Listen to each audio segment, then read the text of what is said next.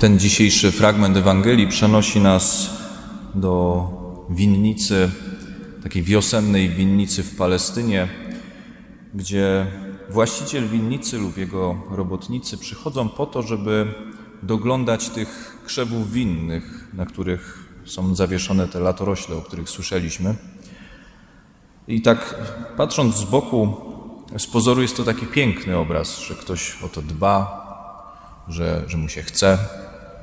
Natomiast jakbyśmy się tak przyglądali szczegółowo, e, to można zobaczyć, że tam jest dużo, tak w cudzysłowie, dużo cierpienia. No bo te małe drzewka trzeba poobcinać.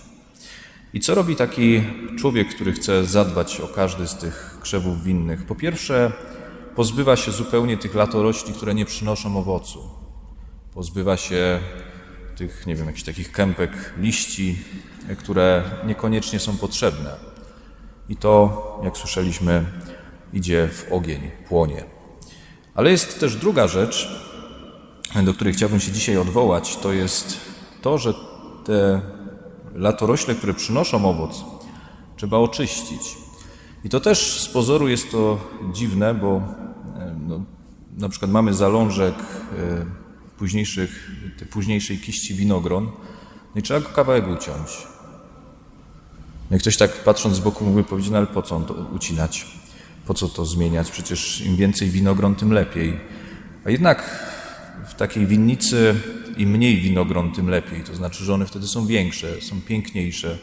Więc mamy coś, co jest dobre, ale musimy tego dobra kawałeczek się pozbyć, żeby inna część była lepsza.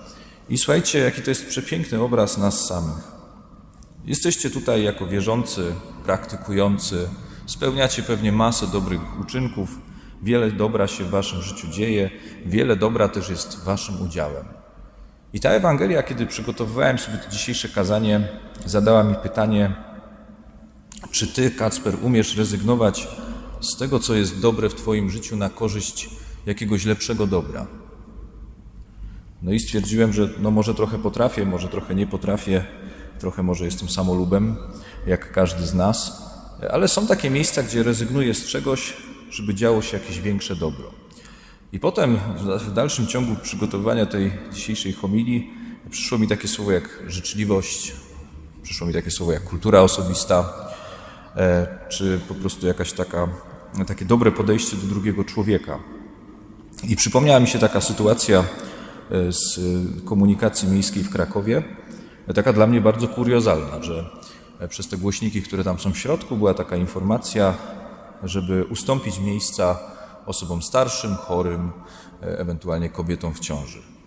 No i sobie pomyślałem, no ja nie mogę, no w jakich my czasach żyjemy, że e, ktoś nagrany tam w komunikacji miejskiej musi mi przypominać o tym, że powinienem ustąpić miejsca. Nie jestem taki stary, ale za moich czasów to wszyscy wiedzieli o tym, że e, no, mamy ustępować miejsca, skoro jesteśmy młodsi. A potem druga myśl mi taka przyszła do głowy, że ci wszyscy, którzy nie ustępują miejsca, mają słuchawki w uszach i oni nawet tego komunikatu nie usłyszeli, no bo, no bo i tak już byli zajęci tam jakimiś swoimi sprawami. E, ale pomyślcie sobie, że taka prosta rzecz, no to, że siedzę w tym autobusie jest rzeczą dobrą. No nie jest to grzech, że sobie siedzę.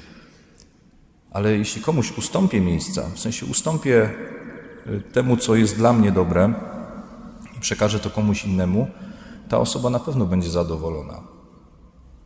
To jest takie małe poruszenie szczęścia w drugiej osobie prawie żadnym kosztem. Prawie żadnym kosztem.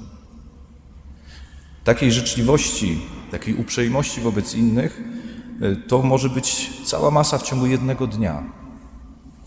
U nas w kościele wystarczy wyjść z kościoła i komuś, nie wiem, pomóc zejść po schodach. Albo kogoś w ogóle przepuścić przez drzwi. Nie trzeba dużo, a ktoś może poczuć się lepiej. Tutaj też przed południem mówię, nie wiem czemu mi to przyszło do głowy, e, ale myślę też się z Wami tym podzielić.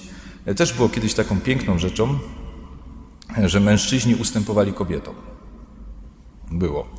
E, było też piękną rzeczą, jak mężczyzna otwierał drzwi kobiecie w samochodzie, pozwalał jej wejść do środka, zamykał drzwi, dopiero wchodził do, na swoje miejsce i dopiero gdzieś tam jechali. Było. Na pewno było, tak sobie kiedyś też pomyślałem o tym, że na pewno tak było, jak, jak się chodziło ze sobą, jak chciało się, żeby to była moja dziewczyna, moja narzeczona, moja żona.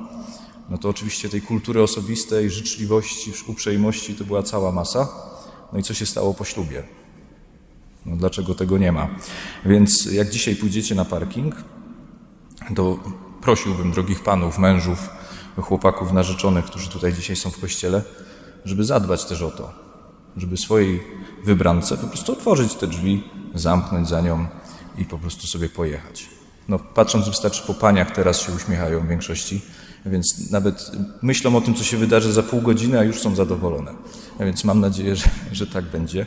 Bo potem zobaczcie, no wrócicie do domu, to wasza żona, dziewczyna, narzeczona będzie zadowolona, więc nie wiem, na przykład będzie miła kolacja, albo jeszcze pójdziecie jakiś spacer, albo pojedziecie na lody, no cokolwiek. Można tak jakby nakręcać tutaj e, tak, tą spiralę tej życzliwości, tego dobra i to będzie przechodziło dalej.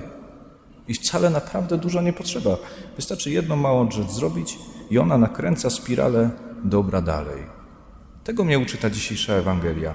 I to też pokazuje list świętego Jana, który czytaliśmy jako drugie czytanie. Nie miłujmy słowem i językiem.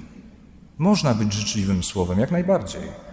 Można językiem właśnie wypowiadać te piękne słowa, ale lepiej by było wejść na taki wyższy poziom, robić to czynem, ale też święty Jan mówi czynem i prawdą. To nie tylko chodzi o to, żeby też być życzliwym, tylko żeby to była taka moja natura, że ja jestem człowiekiem, który jest życzliwy z natury. Nie z tego, że mi ksiądz powiedział na kazaniu i teraz muszę to robić. Nie, to chodzi o to, żeby dojść do tego, żeby to była moja natura. Tak samo w autobusie. Nie zastanawiam się, czy mi się dzisiaj należy siedzieć, czy mi się nie należy, tylko po prostu jeśli widzę osobę starszą, chorą, kobietę w ciąży, to po prostu wstaję i nawet nic nie mówię, tylko pokazuję ręką, żeby sobie usiadła. Naprawdę dużo nie potrzeba, a może być właśnie tak, że będziemy nakręcać spiralę tego dobra. I tak jak właśnie w tej winnicy, że niby z jednej strony przycinamy coś, co jest dobre, ale z drugiej strony może po jakimś czasie właśnie tego dobra po prostu w życiu będzie więcej. I to dobro będzie takie większe, tak jak te grona właśnie w tej kiści winogron. Więc życzę Wam tego, żeby życzliwości, miłości, uprzejmości, a przede wszystkim kultury osobistej w życiu Wam nigdy nie brakowało. Amen.